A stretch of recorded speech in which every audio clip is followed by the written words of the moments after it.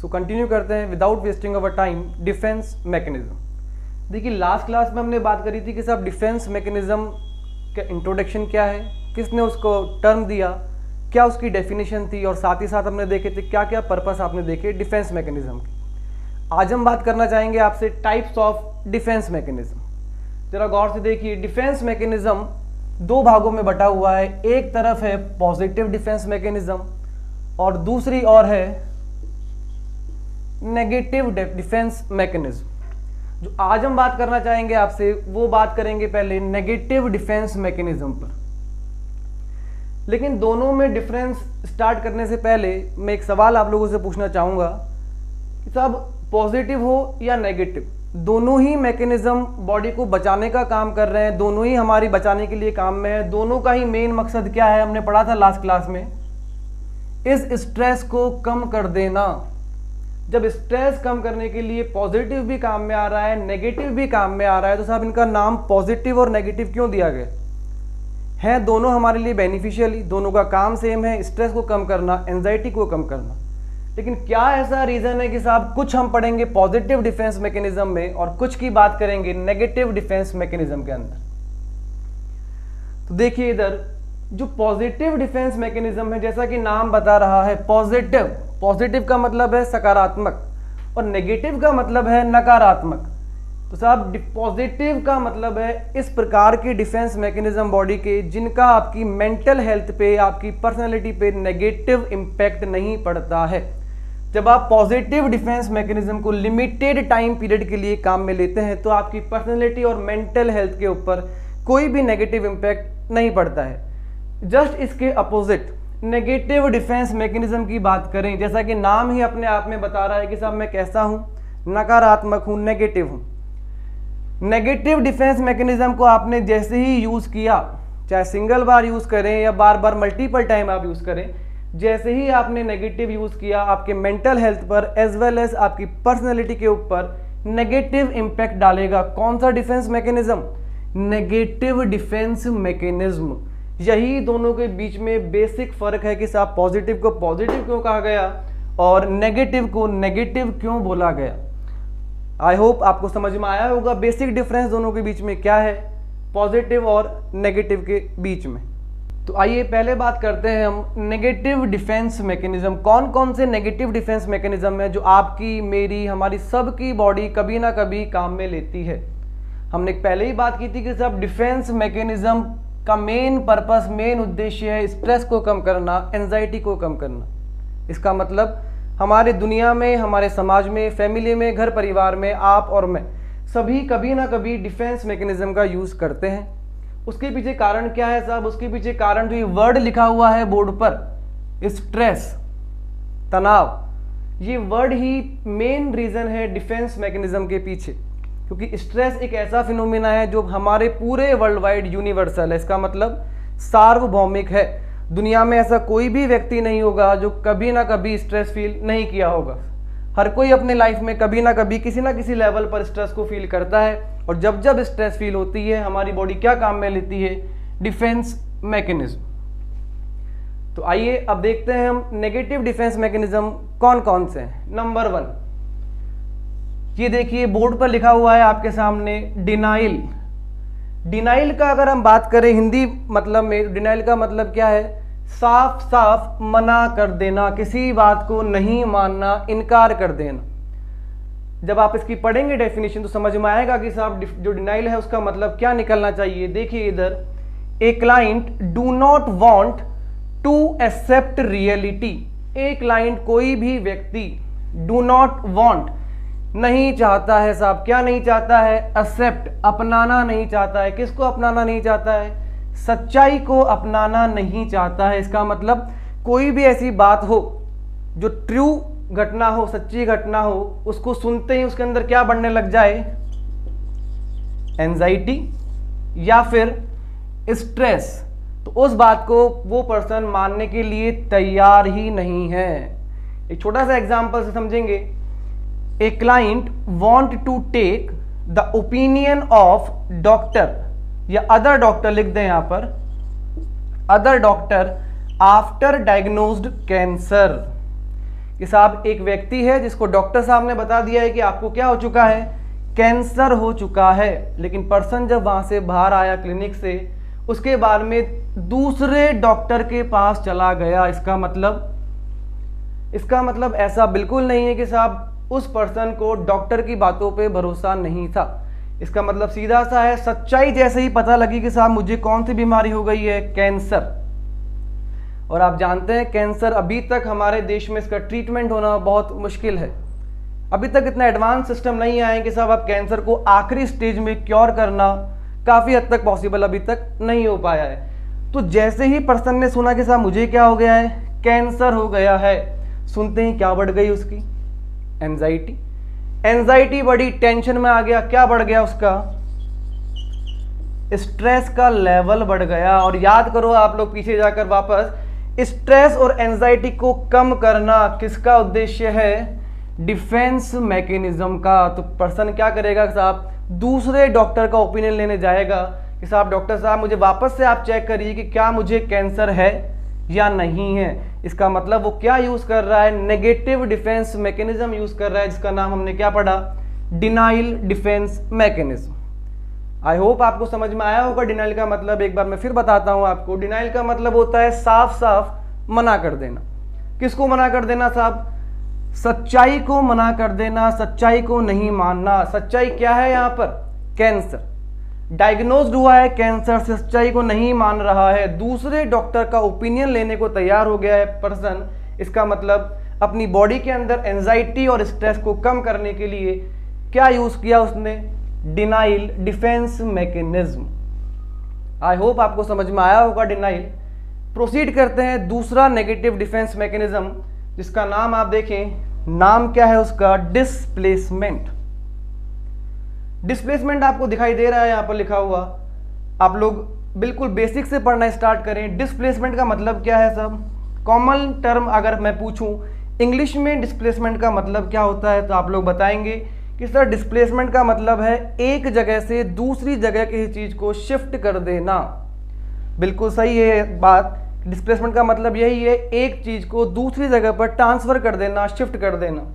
तो साहब negative defence mechanism displacement इसमें भी पर्सन बिल्कुल ऐसा ही करता है। देखिए जरा definition when a client transfer his negative emotion और एंगर जब कभी भी कोई व्यक्ति ट्रांसफ़र करता है, किसको ट्रांसफ़र करता है? अपने नेगेटिव इमोशंस को या फिर अपने गुस्से को, अपने एंगर को कहाँ ट्रांसफ़र करता है? फ्रोम मोर थ्रेटनिंग थ्रेटनिंग का मतलब जहाँ खतरा हो।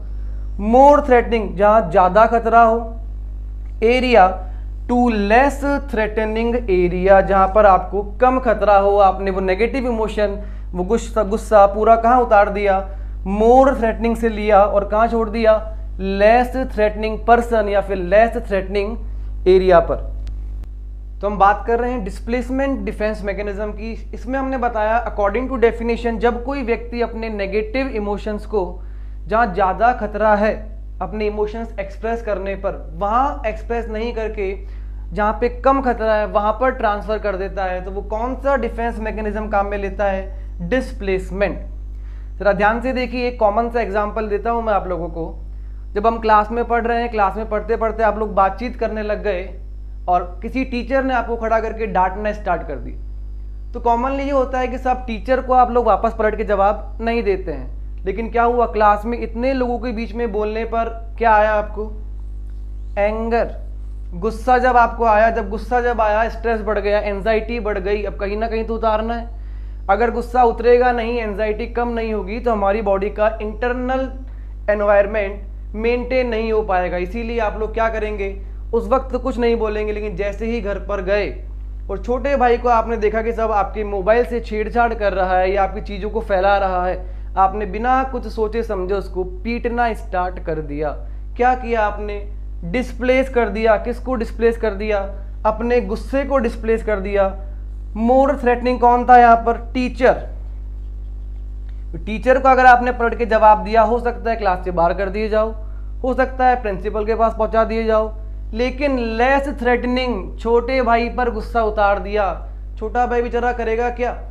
ज़्यादा से ज़्यादा आपको पलट के कुछ बोल सकता है, मार सकता नहीं है, क्योंकि आप बड़े हैं। तो आपने क्या किया? एंगर को भी ट्रांसफ़र कर दिया एनजाइटी और स्ट्रेस को भी कम कर दिया, कौन से डिफेंस मैकेनिज्म के माध्यम से कर दिया? डिसप्लेसमेंट। यहाँ पर एग्ज़ाम्पल भी लिखा है, a person transfer his anger on his wife और child after punish by his boss. कि साहब, एक व्यक्ति को उसके बॉस ने पनिशमेंट दे दी है, अब बॉस को तो कुछ बोल नहीं पाएगा। तो बॉस क्या होगा इसके अंदर? मोर थ्रेटनिंग खतरा ज़्यादा है। अगर बॉस को जवाब दे दिया, हो सकता है नौकरी चली जाए, हो सकता है ज़्यादा काम मिल जाए, हो सकता है आपको ओवरवर्क करना पड़े ओवर टाइम करना पड़े तो क्या हुआ? घर पर आए, घर पर आकर जैसे ही देखा वाइफ या आपके बच्चे, वहाँ पर आपने अपना गुस्सा उतार दिया। लेकिन जैसे ही आपने किया, बच्चे के मन में और वाइफ के मन में आपकी इमेज कैसी बन गई? कैसी बन गई आपकी इमेज इमेज बन गई ये सब नेगेटिव कि तो बिना कारण ही हम पर गुस्सा करते हैं, हमारी गलती नहीं है, फिर भी हमको पीटते हैं, मारते हैं। तो आप देखिए, पढ़ रहे हैं नेगेटिव डिफेंस मैकेनिज्म एग्ज़ाम्पल पे फोकस करिए। वाइफ और चाइल्ड के मन में कैसी फीलिंग आई? नेगेटिव इसलिए मैंने क्या बताया था आपको, जैसे ही आप इसको यूज़ करेंगे पर्सनैलिटी और मेंटल हेल्थ पे कैसा इंपैक्ट पड़ेगा? नेगेटिव इंपैक्ट पड़ेगा। आई होप आपको समझ में आया होगा डिस्प्लेसमेंट और डिनाइल डिफेंस मैकेनिज्म डिनाइल और डिस्प्लेसमेंट के बाद जो नेक्स्ट हमारा नेगेटिव डिफेंस मैकेनिज्म है, उसका नाम देखिए आप लोग प्रोजेक्शन प्रोजेक्शन वर्ड आपने कहीं ना कहीं सुना होगा या एक जो इंस्ट्रूमेंट हमारे पास, एक जो मशीन आती है प्रोजेक्टर नाम से, वो आपने देखी होगी.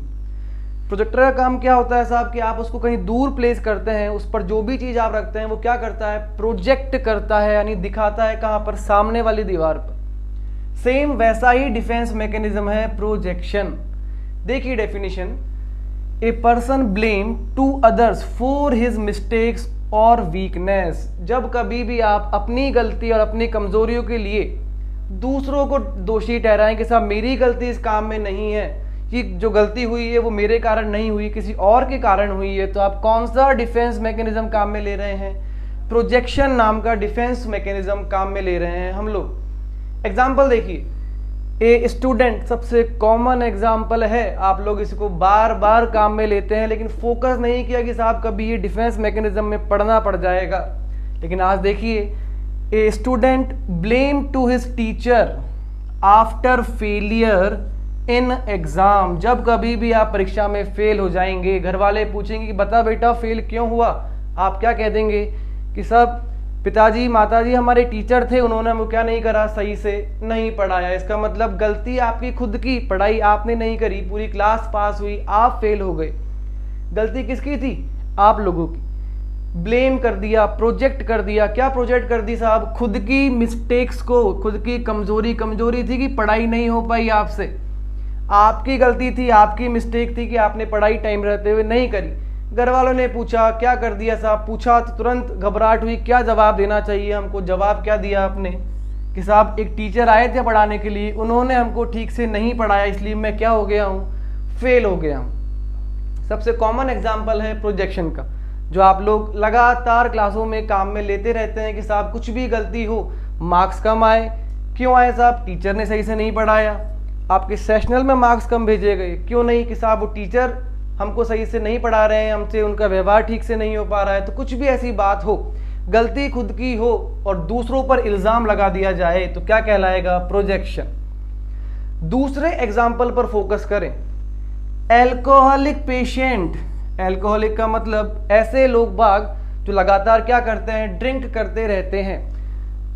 Blame to peer group for his habit आप उनसे पूछें कि साहब, आप शराब पीना क्यों शुरू कर दिया? क्यों आप लोग शराब पीते हैं? वो क्या बोलेंगे? कि साहब, मेरी गलती नहीं है शराब पीने में। मुझे कुछ मज़ा नहीं आता। ये सब की सब गलती किसकी है? पीयर ग्रुप की, यानी हम उम्र के दोस्त, आपके फ्रेंड्स कि मैं नहीं पीता हूँ। पिलाने वाले कौन हैं? मेरे साथी हैं, मेरे पीयर ग्रुप वाले हैं। उन्होंने मुझे पिला दी है, मैंने नहीं पी है। यानी पीने की इच्छा खुद की थी, पी के आप खुद आए, अपनी मर्ज़ी से आपने ब्रांड चूज़ किया कि साहब यही लेकर आओ। उसके बाद ब्लेम कहाँ सीधा लगा दिया? पीयर ग्रुप पर लगा दिया, गलती खुद की, इल्ज़ाम किस पे थोप दिया अपने अपने दोस्तों पर कि साहब उन्होंने मुझे पिला दी है। इसका मतलब कौन सा डिफेंस मैकेनिज्म काम में लिया आप लोगों ने? प्रोजेक्शन नाम का डिफेंस मैकेनिज्म जो किसमें पढ़ रहे हैं हम? Negative defence mechanism I hope आपको समझ में आया होगा प्रोजेक्शन का मतलब। सिंपल सा पॉइंट समझ लें, अपनी गलतियों के लिए किसी और को जिम्मेदार ठहराना कहलाता है प्रोजेक्शन आगे प्रोसीड करें, अगला जो डिफेंस मैकेनिज्म है, उसका नाम है सप्रेशन सप्रेशन का मतलब कॉमनली हम जानते हैं किसी चीज़ को सप्रेस कर देना, छुपाने की कोशिश करना, दबाने की कोशिश करना, वही कहलाता है सप्रेशन देखिए साहब ए पर्सन कॉन्शियसली कॉन्शियसली मतलब आप खुद चाह रहे हैं। वॉन्ट टू फॉरगेट किसी चीज़ को भूलना, वो चीज़ कौन सी है, वो बात कौन सी है, वो बात है ट्रोमेटिक ट्रोमेटिक का मतलब कोई भी ऐसा हादसा जो आपको क्या करवा दे डेट कैन कॉज स्ट्रेस या एंजाइटी इसका मतलब ऐसा कोई भी हादसा, कोई भी ऐसी बात जो आप में क्या प्रोड्यूस करवा रही है एनजाइटी प्रोड्यूस करवा रही है, आप क्या चाह रहे हैं कि हम उसको भूल जाएँ। लगातार कॉन्शियस लेवल पर यानी जागृत अवस्था में आपका दिमाग लगातार कोशिश में है कि वो चीज़ आपको बार बार याद नहीं आए। डेफिनेशन अगर थोड़ी कंफ्यूजन लगी आप लोगों को, ज़रा इधर फोकस करिए एग्ज़ाम्पल पे। मान लीजिए आप और आपका फ्रेंड दोनों के दोनों बीएससी नर्सिंग फ़र्स्ट ईयर का एग्ज़ाम देने जा रहे थे। बहुत अच्छी दोस्ती है आप लोगों के अंदर। जैसे ही एग्ज़ाम सेंटर में पहुँचने वाले थे, किसी बात को लेकर आप दोनों में क्या हो गई? लड़ाई हो गई, बहस हो गई। लड़ाई हो गई, लगातार बहस चल रही है। इसी देर में वहाँ से पीरियड की आवाज़ आई कि साहब एग्ज़ाम स्टार्ट होने वाला है। लड़ाई आपने वहाँ छोड़ दी। सीधे पहुँच गए कहाँ पर? एग्ज़ाम हॉल के अंदर एग्जामिनेशन हॉल के अंदर पहुँच गए। जैसे ही पेपर करने बैठे क्वेश्चन आया। क्वेश्चन आने से पहले दिमाग में क्या चल रहा है आपके? फाइट जो लड़ाई आपकी उससे हुई, आप लगातार सोच रहे हैं कि मैंने उसके लिए क्या कुछ नहीं किया। बहुत अच्छा दोस्त था मेरा। आज उसने मेरे से लड़ाई कर ली। हमारी दोस्ती खत्म। अब कभी भी मैं उससे बात नहीं करूँगा, कहीं साथ नहीं जाऊँगा उसके। लगातार कोशिश कर रहे हैं, फिर आप क्या बोलेंगे अपने आप से? छोड़ो इस लड़ाई को, कहाँ फोकस करना चाहिए? केवल और केवल किस पे फोकस करो? एग्ज़ाम के ऊपर। लेकिन एग्ज़ाम पे फोकस करने के लिए क्या करना पड़ेगा आपको? कॉन्शियस लेवल पर जाकर जो लड़ाई आपकी दोस्त से हुई है, उसको क्या करना पड़ेगा? भुलाना पड़ेगा, दबाना पड़ेगा। दबा रहे हो, भुला रहे हो, कौन सा डिफेंस मैकेनिज्म काम में ले रहा है? सप्रेशन आप लगातार कोशिश करते रहे टाइम निकलता गया एग्ज़ाम हो चुका है रिज़ल्ट आया और रिज़ल्ट में क्या आया? आपके मार्क्स फेल जैसे ही फेल रिज़ल्ट आया, समाज में इमेज कैसी बनी आपके साथ पढ़ता लिखता नहीं है फेल हो गया. इमेज कौन सी बन के निकल के आई?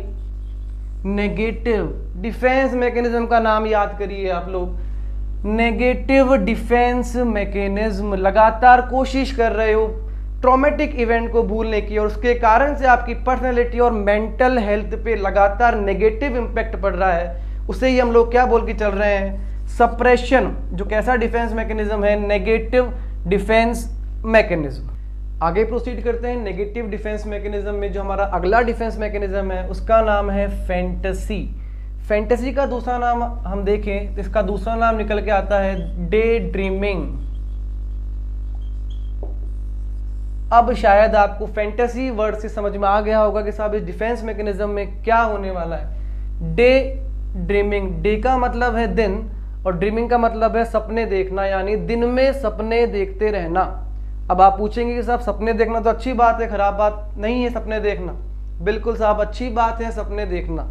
लेकिन सपने देखकर ही खुश हो जाना, उनके लिए मेहनत नहीं करना पूरा करने के लिए, वो गलत बात है। तो इस डिफेंस मैकेनिज्म में बिल्कुल हम लोग भी वैसा ही करते हैं। देखिए definition, a person become happy और satisfied by achievement in dreams.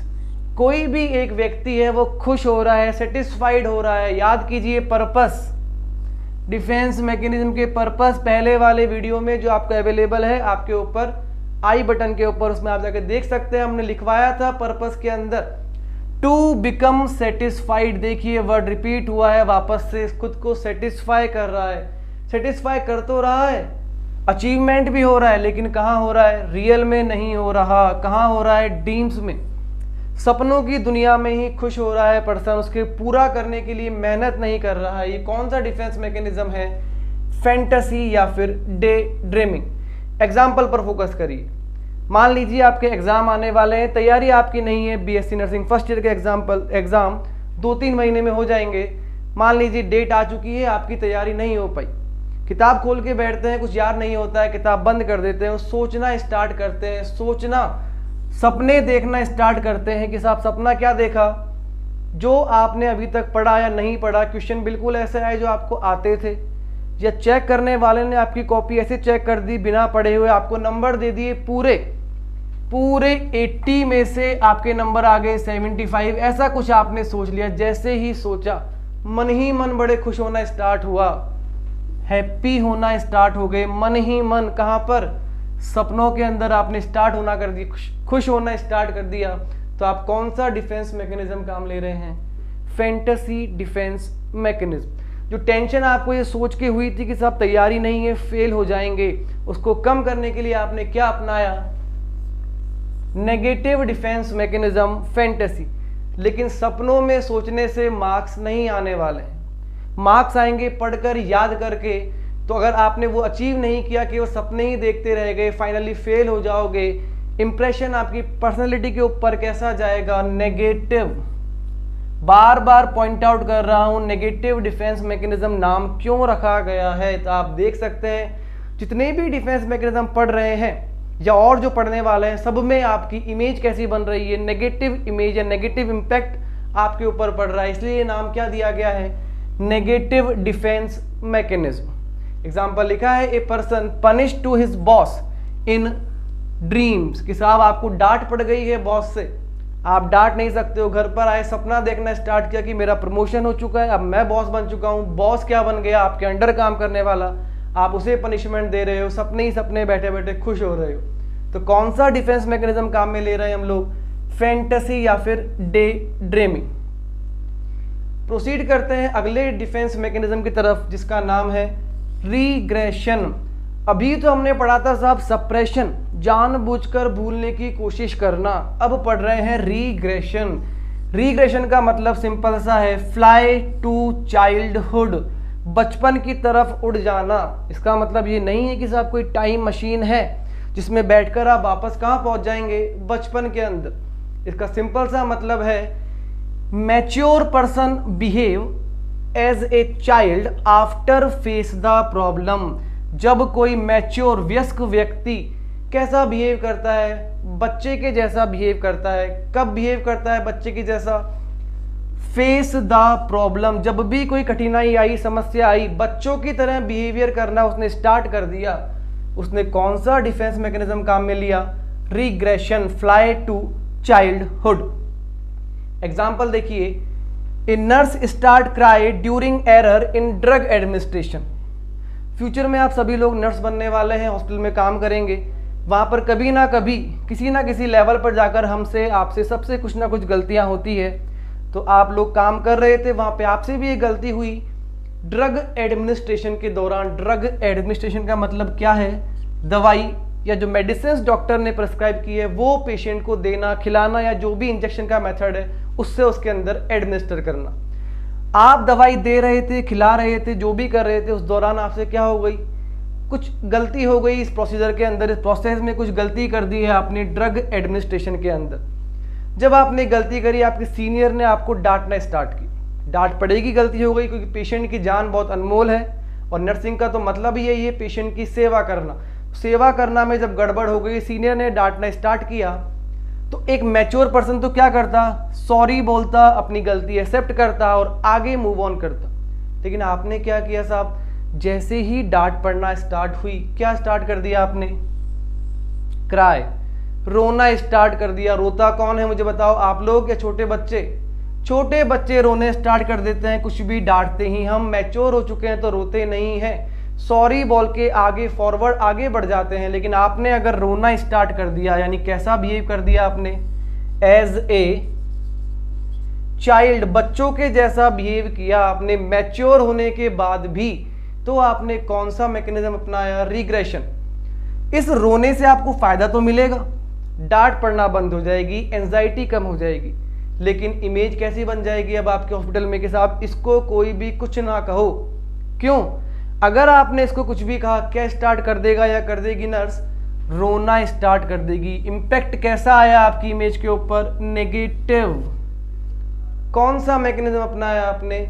Regression understand I hope आपको समझ में आया होगा। रिग्रेशन का मतलब जिसका सिंपल सा मतलब है फ्लाई टू चाइल्डहुड प्रोसीड करते हैं फैंटेसी और रिग्रेशन के बारे में जो हमारे पास बचा हुआ डिफेंस मैकेनिज्म है नेगेटिव डिफेंस मैकेनिज्म जिसका नाम है कन्वर्जन कन्वर्जन का मतलब क्या है साहब? कन्वर्ट कर देना, बदल देना चीज़ों को। किसको बदल दिया आपने? देखिए इधर साइकोलॉजिकल प्रॉब्लम्स यानी प्रॉब्लम फ़िज़िकल नहीं है, शरीर में कोई दिक्कत नहीं है पर्सन की। दिक्कत कहाँ पर है? साइकोलॉजिकल मतलब मेंटल लेवल पर दिक्कत है।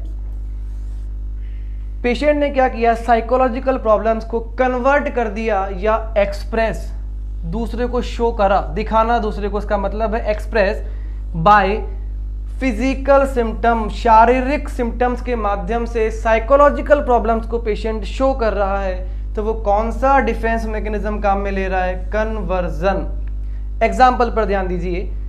पहला है सडन ब्लैकआउट अचानक से अंधेरा छा जाना। कई लोग आपने व्यक्ति ऐसे देखे होंगे जब लड़ाई होती है।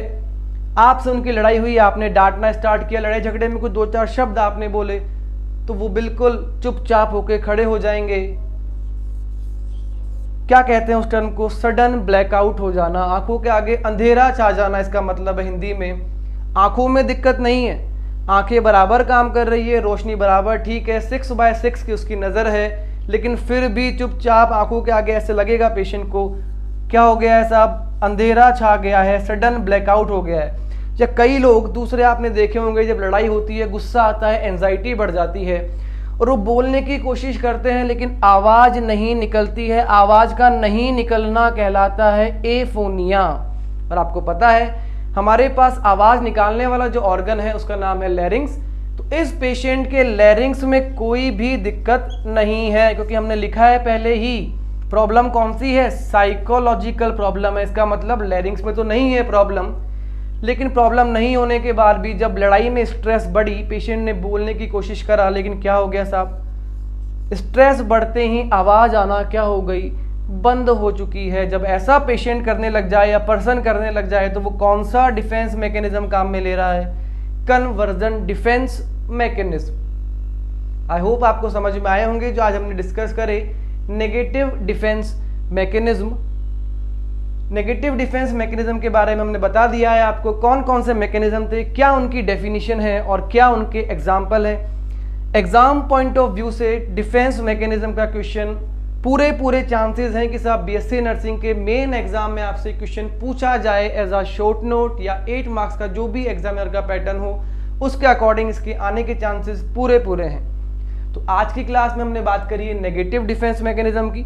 नेक्स्ट क्लास में बात करेंगे, इसी टॉपिक को कंटिन्यू करेंगे और पूरा करेंगे टॉपिक जिसका नाम है डिफेंस मैकेनिज्म फिर भी अगर आप लोगों को डिफेंस मैकेनिज्म के रिगार्डिंग कोई भी क्वेश्चन हो, कैसी भी क्योरी हो तो आप अपने कमेंट सेक्शन में जाके हमें कमेंट करिए। अगले वीडियो में प्रॉब्लम आपकी सॉल्व करने की कोशिश की जाएगी। बाकी बातें करेंगे नेक्स्ट लेक्चर के अंदर। Okay thank you